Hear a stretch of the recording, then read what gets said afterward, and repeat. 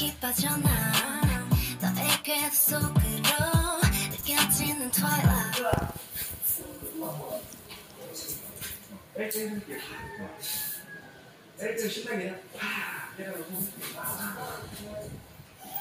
어 내가 때릴 때뭐 좀안 들어 오늘 우리 액션 농장이죠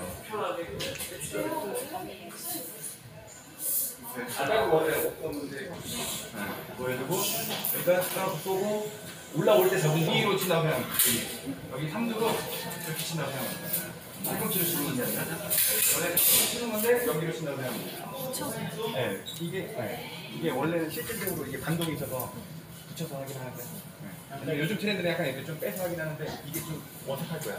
빼서 반동을 좀 나눠주긴 하는데 어차피 대부분 표정이에요. 표정은 공부하듯이 하는데 공부하듯이 공부 되게 못하잖아. 그런 느낌을 하면 돼요. 네, 가볼게요.